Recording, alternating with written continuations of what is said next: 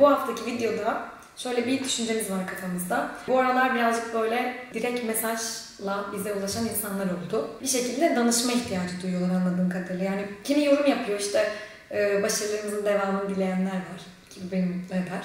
Bir yandan da şeyler var. Hani böyle işte ben arkeoloji okumak istiyorum, şunu şöyle yapsam, işte ben arkeoloji okusam bu böyle olsa, işte arkeolojide böyle oluyor mu, işte bir kadın olarak şu şöyle sorun olur mu gibi böyle sorular alıyorum. Bir arkadaşım var bir tane, o da eğitim koçluğu yapıyor. O zaten daha önce de sayfamızı paylaşmıştı. Ona da danıştım dedim hani nasıl bir şey yapabiliriz. O da dedi ki hani bu konuda bir video çekersen dedi. Hani kimler yapabilir, kimler için uygun, kimlerin karakteri için iyi, hangi okullar iyi, e, yapılabilecek ihtimaller işte sonrası için imkanlar neler gibi böyle bir şeyleri anlatırsan bizlere de hani bilgilenmiş oluruz dedi. Daha sonra ben de birkaç gün önce e, Instagram'dan şey yaptım. Soru, istediğiniz sorular varsa kullanalım, onlardan yararlanalım, size de yararlı olsun diye böyle bir şey yaptık. Karşımda böyle birkaç madde halinde arkeoloji okumak diye bir video çıkabildi bu şekilde. Ya bu video özellikle yeni liseden mezun olmuş öğrenciler için yapıyoruz. Hani yani, üniversite tercih yani özellikle demeyelim de hani üniversite tercihlerini yaparken arkeoloji okumak istiyorlarsa ya da tercihlerin içine e, arkeoloji bölümünü koymaları gerekirse diye e, bir rehber olsun. Tabii siz anneleri tarafından size emanet edilen çocukları her bakımdan e, tersiz gördüğünüz bir bölümde okumalarına şiddetle karşısınız ama ben yine de arkeoloji anlatmaya geldim. Arkeolojinin ne olmadığını biliyoruz zaten. Ve biliyorum ki artık buralara falan koyamıyoruz. Şu tepeye bir yere koyalım onu. Öğrendik. Hazır şeyde yok efendim midasın burnundan çıksın falan. Yok oralara Hayal koyamıyoruz. Şeyde ekranın sağ üst köşesinde e, bir tane info logosu çıkıyor. Ona tıkladıklarında kartlara tamam, ulaşabilirler. Işte buraya koyacağız onu. Tamam. Arkeolojinin ne olmadığını öğrendikten sonra hani arkeolojinin ne olmadığını ve ne olduğunu bilerek bir arkeolojiyi seçiyoruz. Şimdi bana gelen sorulardan ben söyleyeyim. Bir tane şey demiş mesela. Sınava girerken tam da sınava gireceğin zamanda aklında sadece arkeoloji vardı? Şimdi şöyle e, benim zamanımda şu an bilmiyorum ama eşit ağırlıktan eğer e, giriyorsanız sınava sözelden tercih yapmak istediğinizde puanınız epey düşüyordu. Ben de o zaman tarih çok istiyordum ama tarih sözelde bir bölümdü. Benim puanım bu arada gerçekten iyiydi. Hani ben e, Bilkent'te kapsamlı burs olarak okudum mesela. Hani yani sanılanın aksine öyle puanım yetmedi diye falan arkeoloji yazmadım da. Benim ilk tercihimdi. Bilkent kapsamlı burslu arkeolojiydi. Benim karakterim biraz daha böyle hani hani üretmeye yatkınım evet ama diğer bir yandan da ben böyle biraz bağımsız bir yanım var. Hani gezmeyi, bir şeyler görmeyi, yeni şeyler öğrenmeyi, keşfetmeyi bunları seviyorum ve yanında tarihi çok seviyordum. Okumayı seviyorsun bir de. Yüz Yani tarihi çok seviyordum. Her zaman tarihle ilgim vardı benim. Tek farkım e, benim o zamanlar mesela e, arkeoloji bilincimin çok açık olmamasıydı. Ben bu yüzden tarih istiyordum. Çünkü ben ben de tarihi arkeolojinin içinde beraber bir şey sanıyordum. Hani beraberlikleri var ama hani bu kadar somut şeylerle beraber ele alabilip bunun keyif verebileceğini bilmiyordum ben açıkçası. O yüzden şimdiki çocuklar biraz daha şanslı diye düşünüyorum. Çocuk deyince biraz üzücü oldu. Öyle demek istemedim ama. Yani şimdiki gençler daha şanslı. Çünkü benim bu kadar e, ufkumu açabileceğim kaynak yoktu. Hani ben tembeldim belki ama diğer bir yandan da gerçekten hani e, benim zamanımda internet yok falan filan değil ama bu kadar işte blog yazıları, işte YouTube videoları, İngilizcem de çok iyi değil. Hani Türkçe çok şey yoktu açıkçası. Dolayısıyla ben arkeoloji bilmiyordum ama sonra şöyle oldu işte tarih istiyordum. Puanım düşüyordu. Daha sonra araştırırken ailem dedi ki ya Bilkent'te arkeoloji bölümü var. Puanım burslu oluyor bir bak bakalım. Ondan sonra arkeolojinin yoluna baktım.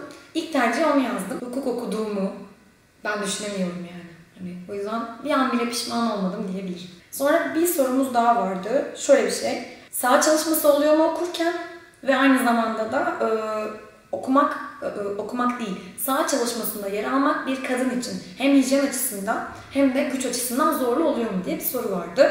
Bence bayağı hani yardımcı olabilecek bir soru insanlara. Şimdi tabii ki de saha çalışması var. Zorunlu zaten bütün okullarda. E, arkeoloji öğrencilerinin e, bir saha çalışması yapma zorunluluğu var.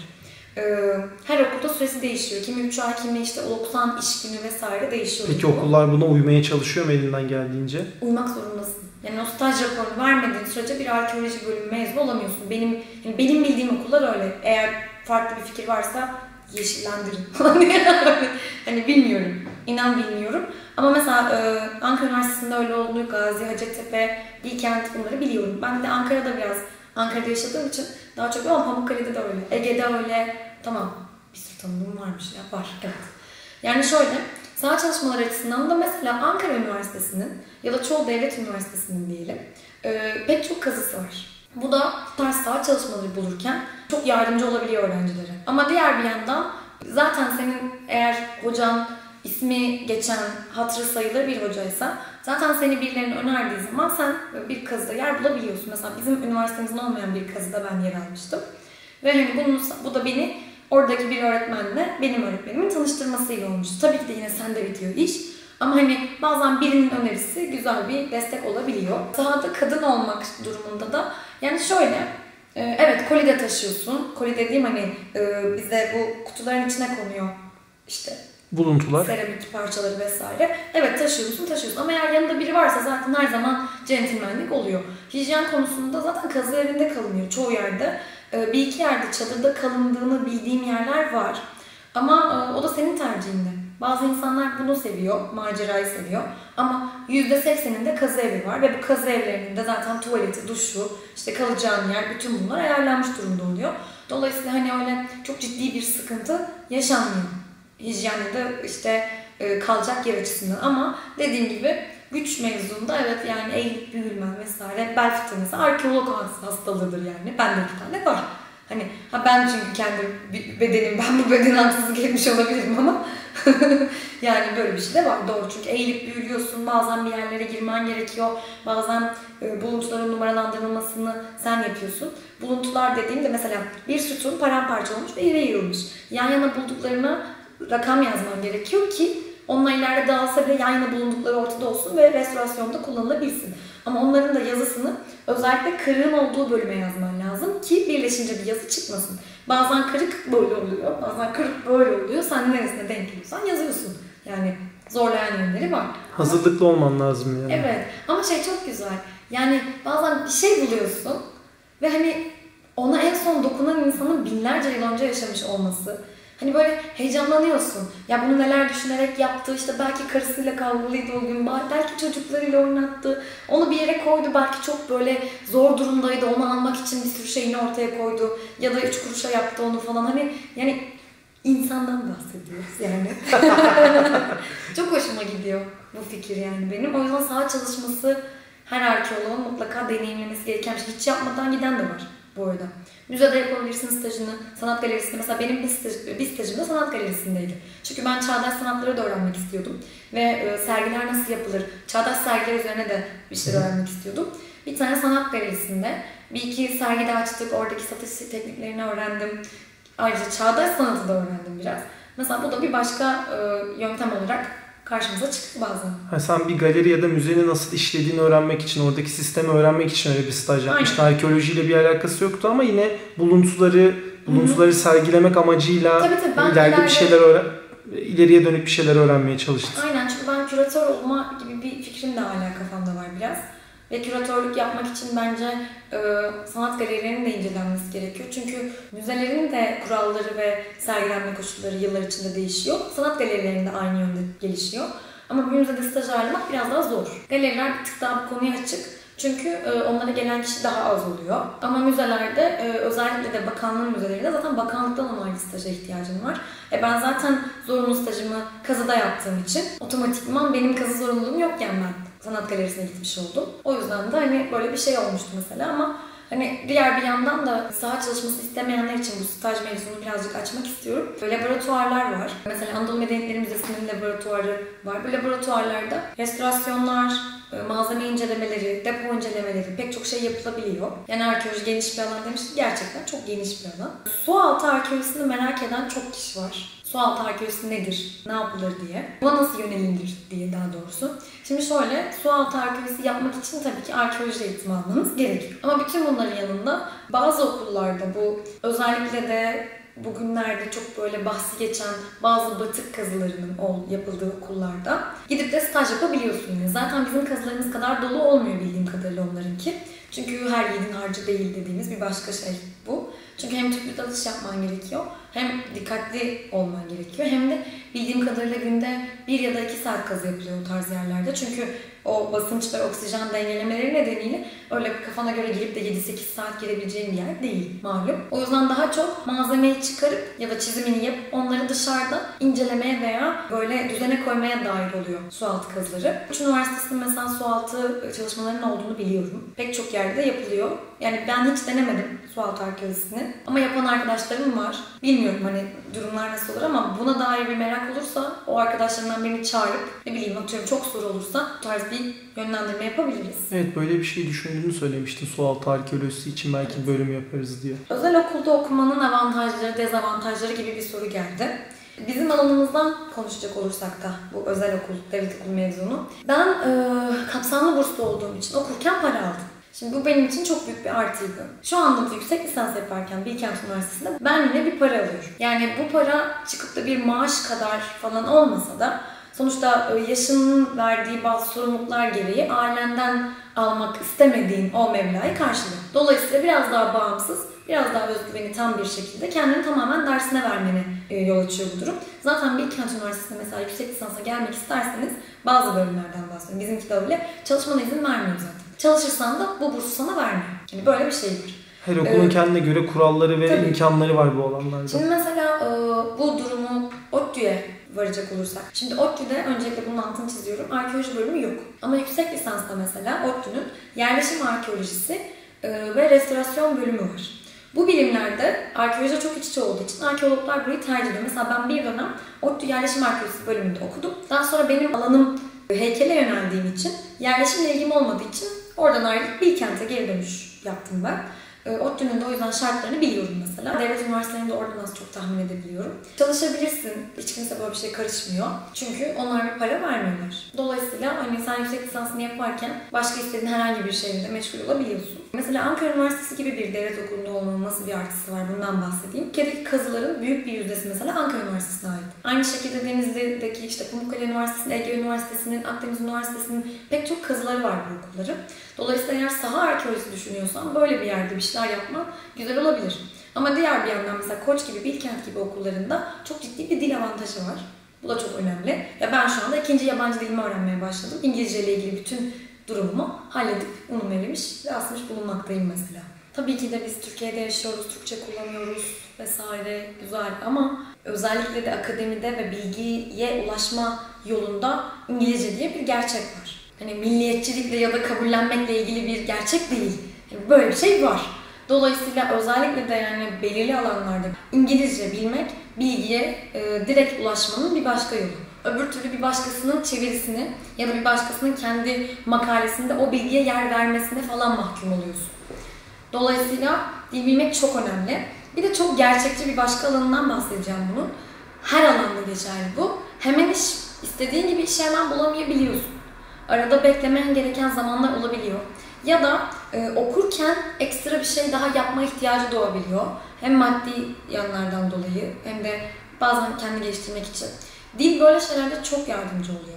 Yani tercüme yapabiliyorsun, belirli yerlerde belirli şeylere e, ulaşabiliyorsun. Hiçbir şey olmasa e, yurt dışındaki okullarla ilgili yerlere de başvurabiliyorsun. Ve bu özel okul mezunu sadece şöyle bir şey daha söyleyeceğim. Hani özel okul değil ama mesela şöyle benim okulumda mesela çok ciddi bir yabancı öğretmen durumu var. Şimdi bu neye yarıyor? Dilini geliştiriyor. Diğer bir yandan da mesela ben şimdi e, Ekim ayında çok yüksek ihtimalle 4 aylığında Paris'te olacağım. Tezimin bir kısmını orada yazacağım. Orada bir hocayla böyle bir anlaşmaya vardık. Buna varabilmemizin sebeplerinden biri benim hocamın yabancı olması. Bekle dur. Penceresi açık kaldı. Evet. Şimdi eğer benim e, hocamın yurt dışında bir kontağı olmasaydı ya da benim onunla iletişim kuracak bir İngilizcem olmasaydı böyle bir imkana erişemezdim. Ve bu neden önemli? E, çalıştığım alanla ilgili dünyada az profesör var. Onlardan bir tanesi çalışma imkanım oldu. Bunun sebebi benim yabancı öğretim görevlisine sahip olmamdır. Dolayısıyla okullara bakarken e, özellikle bu tarz bilim alanlarında mutlaka öğretim kadrosuna bakmanız gerektiğini düşünüyorum ben. Ve yani, hocalarının çalıştığı alanları da incelesinler. Ya tabii ki o, o var zaten atıyorum. Genel olarak bu zaten çeşitlidir. Hiçbir yer sadece klasikçi ya da sadece prehistoriyacı değildir. Gerçekten birkaç yabancı insanın ya da şöyle yabancı olmasa bile yurt dışında eğitim almış Türk bir hocanın da aynı katkısı olacaktır. Bilim alanlarında, bilimden kastım hani arkeoloji bir bilimdir, işte tarih öyledir ama işte fizik, biyoloji yani genel bir şekilde bilimi içine alarak söylüyorum. Daha fazla ulaşabilmek ve daha fazla üretebilmek için mutlaka dışarıyla bir kontak halinde olmak gerekiyor. Yani işinizi yapmak istiyorsanız, akademiye yönelmek istiyorsanız ya da işte müzecilik mesela hepsi aynı. Çünkü ben şu an müzecilikle de uğraşmak istesem bugünün müzecilik trendlerini bilmem gerekiyor. Trendden kastım da kural yani aslında. Hani bunu bilmediğim sürece doğruya ve iyiye ulaşamam. Kimler bu bölümde başarılı olabilir? Ya da ne gibi özelliklere ihtiyaç vardır? Şeyine gelecek olursak sorusuna. Bir kere sözel anlamda birazcık fazla bilgiyle donatılmış bir bölüm. Özellikle ilk kısmında öğrenmek gerekiyor. Mesela ben şu anda üretim kısmındayım. Burası daha güzel. Hala öğreniyorum ama bir yandan da benim fikrimde üretiliyor. Ama ilk başta üretim fazına geçmek için mutlaka senin bir bazını kuvvetlendirmen gerekiyor. Ve o bazda kesinlikle bilgilerden geçiyor. Anında bilgiye daha iyi bir şekilde ulaşabilmek için de senin kesinlikle ve kesinlikle bir ezber kabiliyetinin, bir okuma isteğinin olması gerekiyor. Bol bol okuman gerekiyor. Yani bunu bir söyleyeyim. Beyaz yakadansa bir tık daha böyle kendine dair, kendinle ilgili bireysel şeylere yönelmek isteyen insanlar için de yine makul bir yer. Ee, sanat tarihine, müzeciliğe, aynı zamanda arkeolojinin diğer her alanına ulaşabileceğin bir sürü yolun oluyor burada. Aslında şu anda Türkiye'de genel durum galiba. Ne okursan oku garantisi yani istediğin şeye ulaşmanın garantisi çok yok. Evet ve herkes hani garanti olan neyse ona yönelmeli. Ama garanti olan bir şey yok. Artık bunu konuşmanın zamanı geldi galiba. Yani öğretmenlik de okusan muhteşem bir meslek ama e, atanma sorunun oluyor. İşte avukatlık yapmak da istesen yapabiliyorsun. Avukatlık yine bir, bir tık daha nispeten garanti oluyor ama ne oluyor? İşte onda da bir ofis bulman gerekiyor vesaire. Kendi istediğin yere gelene kadar yine garantimiz yok. Şu an geldiğimiz yerde. Yine sen de bitiyor. Sen çalışırsan her yerde yapabilirsin. Burası da öyle bir alan. Açık olursan zaten sen yeniliklere, seni bambaşka şeylere yönlendirmeye başlıyor. Mesela benim okuduğum bir tane makaleden çıktı benim test konum. Ve ben bu makaleyi e, benim master'ımın birinci döneminde okudum. Yani o zamana kadar her zaman adını bildiğim ama hiçbir zaman bu kadar detaylıca düşünmediğim bir şeye sadece bir makale sebebiyle ulaştım ve benim tezimin altyapısı oluştu. Yani her gün yeni bir şey çıkabiliyor. Mesela şimdi müzeciliği mi deneyimlesem fikirleri var kafamda, küratörlük vesaire. Yani aslında geniş bir iş imkan durumu var. Şunu bir açıklığa kavuşturalım. Garanti ve rahat iş bulma durumu şu an için dünya genelinde mümkün değil. Aradığın şey ayda 10 bin lira maaşsa, çok rahat bir hayat sürmek istiyorsan böyle bir şeye ulaşman için belirli basamaklardan geçmen gerekiyor. %100 bu her yerde böyle. Burası da aynı şekilde. Belirli basamaklardan geçersen güzel bir şeye ulaşırsın. 10 bin de bu arada farazi öylesine bir atı verdim ortaya. Galiba benim evrenin mesajım bu ama. Yani 10 bin kazanmak istiyorum. 10 bin istiyorum ben.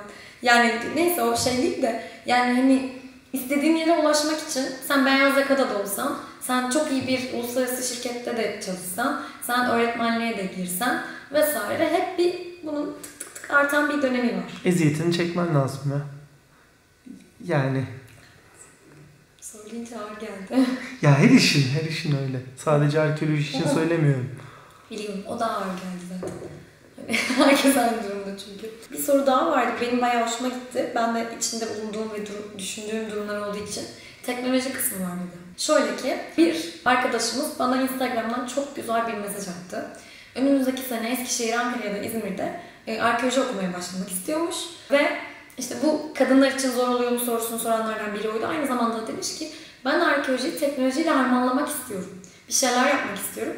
Mesela benim de yakın bir zamanda bir yayınım çıkıyor. İlk yayınımı veriyorum. Bu da arkeoloji ve teknolojiyle ilgili bir şeydi. ODTÜ'de bir sempozyuma katılmıştım. Ee, nasıl bir şey yapılabilir gibi bir muhtemel proje örneğiydi benimki. Şimdi bir de bu var tabii. Kendini yetiştirdiğin her alan arkeolojiye katkı sağlayacaktır. Çünkü gelişmekte olan bir zaman dilimindeyiz. Yani 3D printing mevzuları, üç boyutlu yazıcılık mevzuları, üç boyutlu tarama mevzuları, aynı zamanda bu makine öğrenmesi ve yapay zeka ile birlikte e, bir şeyleri birleştirme ve onları üst üste koyabilme, kıyaslama gibi pek çok metot gelişiyor. Mesela Roma'daki Karakalla hamamlarını bu bildiğimiz gerçeklik gözlükleriyle takıp eski haline görebilme gibi şeyler. Şimdi bunlar da günümüzde gelişmekte olan şeyler.